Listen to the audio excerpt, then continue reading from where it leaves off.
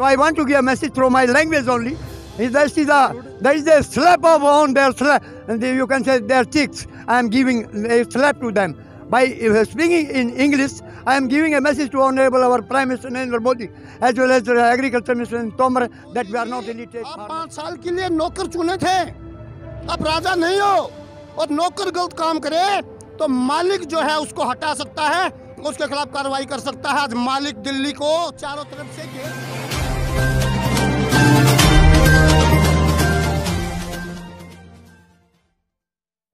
through your channel, I am OP Dahiya. Through your channel, I want to give a message to our Honorable Prime Minister Mr. Narendra Modi as well as Agriculture Minister Mr. Narendra Tomar that they are telling these Akalis, they are telling these Akalis and uh, Akalis, uh, So if we are the Khalistani, then what they will be? They will the mastermind of those, those people.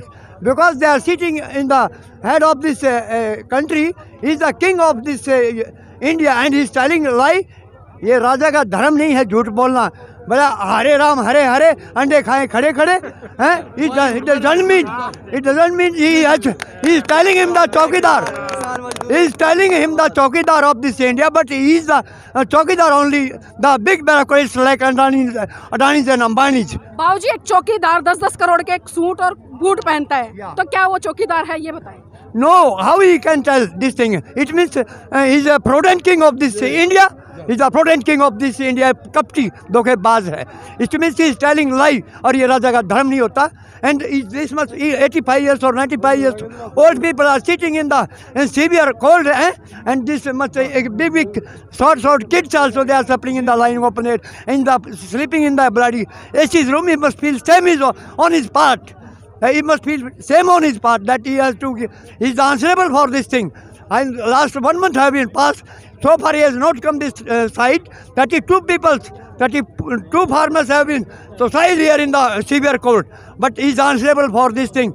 इधर नहीं तो भगवान के घर उसको देना पड़ेगा answer वहाँ जवाब वहाँ देना पड़ेगा हाँ राजा राजा है इस देश का तो has to give the he will be the answerable in the god god's house बिल्कुल बाबूजी एक सवाल और लेना चाहूँगी। बहुत सारे लोग बैठ बोल रहे हैं कि जो यहाँ पर वो लोग बैठे हैं किसान है। वो किसान ही एक तरह से वो अनपढ़ भी है गवार भी है कुछ जानते नहीं लेकिन हम देख रहे हैं कि आप इतनी अच्छी इंग्लिश बोल रहे हैं तो ऐसे लोग क्या कहेंगे?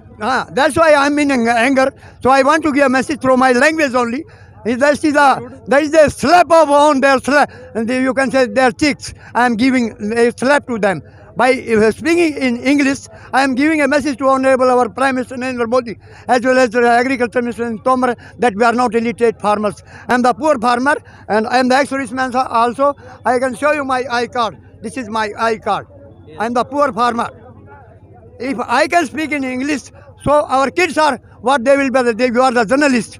ये मेरी बेटी है ये जर्नलिस्ट है ये भी जर्नलिस्ट है सो हम अपने we can taught our boys and girls very well so they are gold medalist in all the fields but there is no job why because they are coming under marshal com this नहीं this they are not इनको कि- किसानों को bill समझ में आ चुका है हाँ हाँ नहीं दे दर्द है उनको they have told this thing that they are not, not uh, yani, uh, uh, getting this the language of this agricultural bill but we can make him to understand we will uh, we have came here jointly Pakistan और अम्बानिस्तानी जो हमारे को बोल रहा है हमारा पंजाब है जो बड़ा भाई है इजला के Ram and we are Lakshmana we are from Haryana so now jointly we have come on this stage of this uh, uh, you can this issue is now it uh, uh, कि- किसान और ये अभी जवान और farmers का इन और jointly all they have come this stage. बाबूजी हम लगातार एक नारा सुनते हैं जय जवान जय किसान। हमारा देश का जवान सरहदों पर चाहे सर्दी हो बारिश हो या कुछ भी हो वो लगातार डटा रहता है और उन्हीं की वजह से इस देश का प्रत्येक नागरिक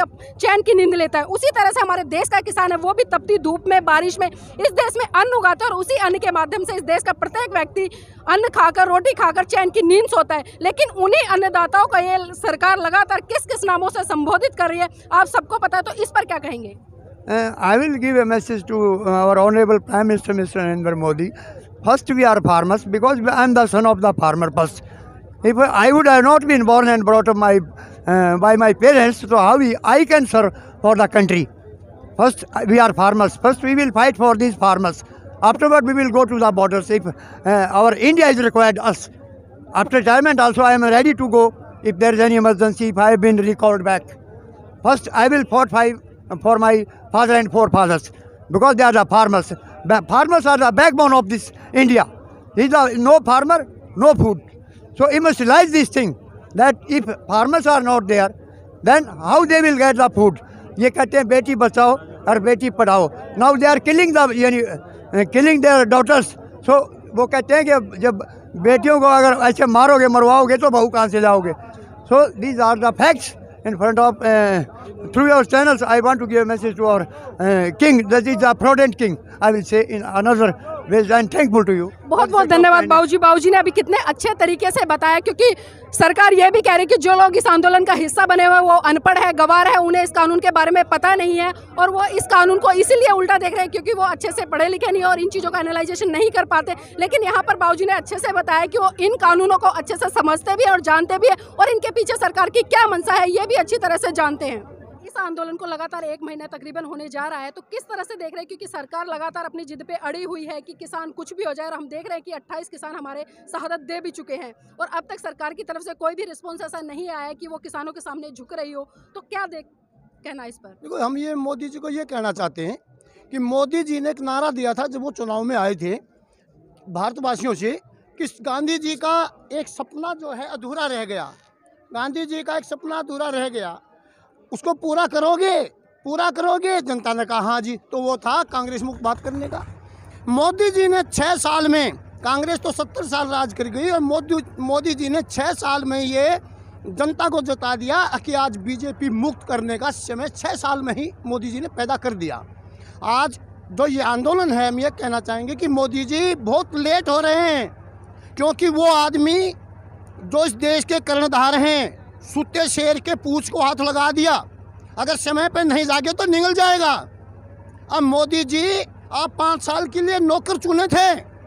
अब राजा नहीं हो और नौकर गलत काम करे तो मालिक जो है उसको हटा सकता है, उसके खिलाफ कार्रवाई कर सकता है। आज मालिक दिल्ली को चारों तरफ़ से घेर चुका है। मोदी जी तो लगातार कहते हैं कि मैं तो फकीर हूँ थैला उठाऊँगा चला जाऊँगा। वो फकीर नहीं है वो पूंजीपतियों का मुख होता है उस देश का दुर्भाग्य है जाने नहीं देंगे बैग उठा के हिसाब लेगी जनता हिसाब लेगी लेट हो रहा है हम कहना चाहते हैं कि शेर जाग चुका है और मोदी जी तीन कानून रद्द कर दो और मालिक से माफ़ी मांग लो अन्यथा भूल बहुत बड़ी हो जाएगी। लेकिन हम देख रहे हैं कि लगातार दिल्ली में जो सातों सांसद है बीजेपी के, बल्कि पूरे देश की बात करूँगी, लेकिन दिल्ली की मैं इसलिए बात करूँ क्योंकि दिल्ली में हम प्रत्यक्ष रूप से देख रहे हैं। वो बहुत बड़ी बड़ी जनसभाएँ निकाल रहे हैं, होर्डिंग पोस्टर पोस्टर, बैनर के माध्यम से लोगों को ये बता रहे कि सरकार जो ये तीन कानून लेकर आई है, ये किसानों के हित में है और जो लोग इन कानूनों का विरोध कर रहे हैं, वो कहीं ना कहीं फंडिंग लेकर इसके खिलाफ खड़े हैं। उनके दिमाग का दिवालिया हो चुका है। वो बोखलाट का पीछे है। मोल खरीद करके वो लाते हैं। जो यहाँ पर चारों तरफ़ दिल्ली के, वो दिहाड़ी लेने के लिए लड़ते हैं। और जनता उनको पहचान चुकी है। और किसान इसे डिगने वाला नहीं है।